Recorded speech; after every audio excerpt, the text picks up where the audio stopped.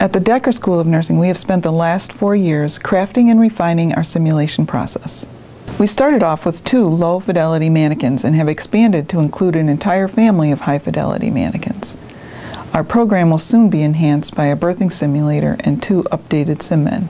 So simulation in the beginning when we first started doing them here was um, you know, in the lab, we had a curtain, and the faculty would sit behind the curtain and run the simulation, and the students would be on the other side with SimMan or the Sim Child, and you know, it was kind of like the Wizard of Oz, where we would talk through the curtain, and it didn't really give that sense of a true clinical experience because we were still in the room with them um, and they really had to pretend a lot that they were in a clinical situation. I think that we've come a long way in that respect in terms of appreciating that there's value in uh, staff and faculty providing the narrative as compared to relying strictly on what SimMan says because oftentimes uh, we in the beginning we would fumble with what do we want him to say and there'd be a little break in the action while we tried to come up with the most appropriate comment for him to make and it wasn't it, it lacked some of the um, process of what you would expect in real life. The physical space has recently been expanded to include two newly renovated simulation labs, a state-of-the-art control room, and two multi-purpose rooms for debriefing and or general instruction.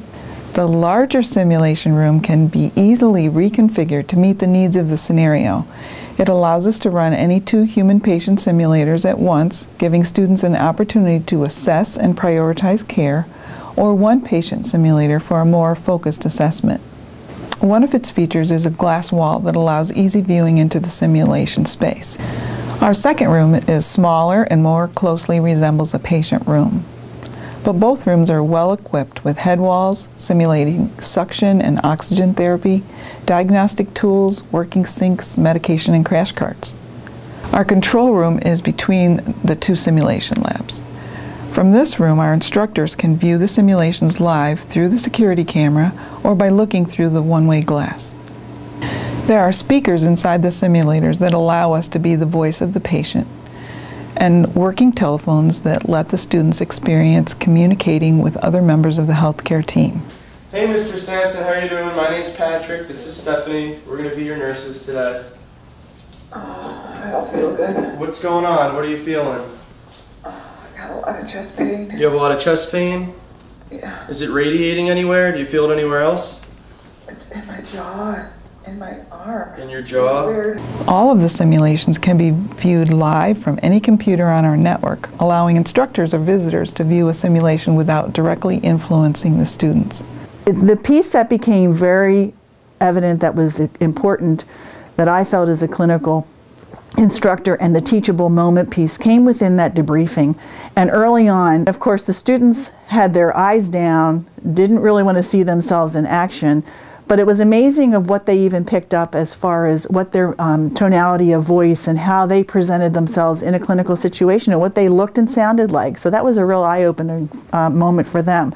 The other thing that um, I've really noticed change over the last few years is that we're able to identify objectives right on the screen uh, for the students so that when they're coming back to have that debriefing opportunity, they actually can to they can actually identify what they did and what we noted uh, in terms of for example, being able to go in and hand wash or identify the patient or place oxygen on, all of that is now actually part of the debriefing process as well.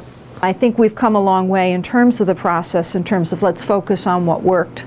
Let's focus on how that worked for you, why it worked, what might you do differently in the future, and allowing different people on the in the team, the team of students, to uh, comment on how they think the process went and how um, how it might translate to what would happen in real life and how you might be able to uh, modify your behavior in a real life situation. The addition of this space allows us to dramatically increase the ease and frequency we can provide simulations for our students. This gives them an opportunity to practice skills that they may not have had a chance to in the clinical setting, with the comfort of knowing that they're in a safe learning environment. The students love simulation. They want to do it again and again after they've done it. There's always that first time nervousness that they have. Um, but now with the new simulation rooms that we have, they don't even realize that they're being taped or that they're being watched and monitored. Um, and they really enjoy the experience.